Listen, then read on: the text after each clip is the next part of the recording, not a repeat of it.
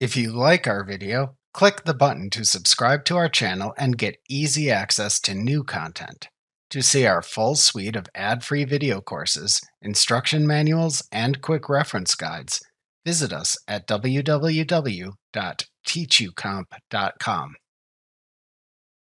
If you corrupt your company's data file and need to restore the data from a local backup copy, you can, as long as you created local backup copies.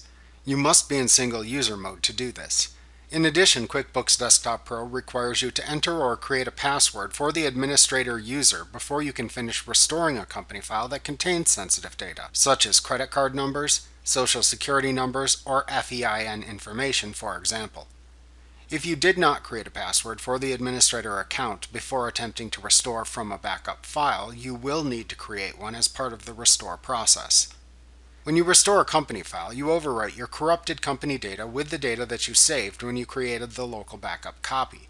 You must then re-enter all transactions that occurred from the date you created the backup copy up through the current day to bring your company file back up to date. To restore a corrupted company file from a backup copy, select File, Open or Restore Company from the menu bar.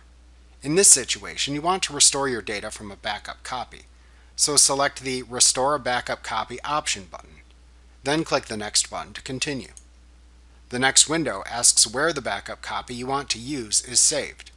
Select the Local Backup option button if using a local backup copy saved to your network or to removable media. If you saved the backup copy online using that feature, then select the Online Backup option button instead. For this example, we will select the Local Backup option. After making your choice, click the Next button to continue. QuickBooks will next open the Open Backup Copy dialog box. Use this dialog box to navigate to and then select the local backup copy to use for the restore process. After selecting the file to use, Click the Open button in the Open Backup Copy dialog box to return to the Open or Restore Company window. The Open or Restore Company window will then display the Where do you want to restore the file screen. Note that you can also reach this same screen in an alternate manner than the one described this far by simply choosing File, Backup Company, Restore Previous Local Backup from the menu bar, and then selecting the name of the desired local backup file to use from the side menu of choices that appears. Using this method also allows you to choose a local backup copy for the restore procedure from the menu bar and then jump immediately to this screen within the Open or Restore Company window. After reading the information within this screen, click the Next button to continue. You will next need to use the Save Company File As dialog box that appears to navigate to and select the corrupted company file to overwrite with information from the backup copy you just selected. After selecting the company file to overwrite, click the Save button to continue. If you are overwriting a corrupted company file, QuickBooks may ask you if you wish to overwrite the file. You can click Yes in the message box that appears to overwrite the selected file. Next, QuickBooks cautions you to be absolutely sure that you want to do this by making you type the word yes into the text box within the Delete Entire File window, since you will likely be deleting the most current copy of your company file.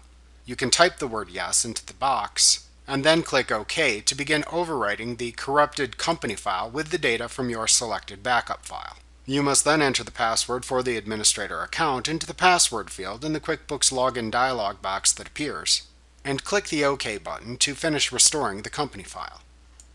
If you did not create a password yet, a Sensitive Data Protection Setup dialog box appears instead. You can enter a different name for the administrator account if desired into the username field. Then enter a password for the user into the new password and confirm password fields. Then select a challenge question and enter your answer into the answer field, and then click OK to finish restoring the file. Be sure to write down and safely secure the administrator username and password if you created one. You can then click OK in the information box that appears to tell you to change your administrator password every 90 days. Either way, after restoring the company file, you then re-enter any transactions into the company file from the time the backup copy was created up to the current day to make the company file current again. Remember to click the subscribe button to see more of our videos. See our full suite of courses, instruction manuals, and quick reference guides at www.teachucomp.com.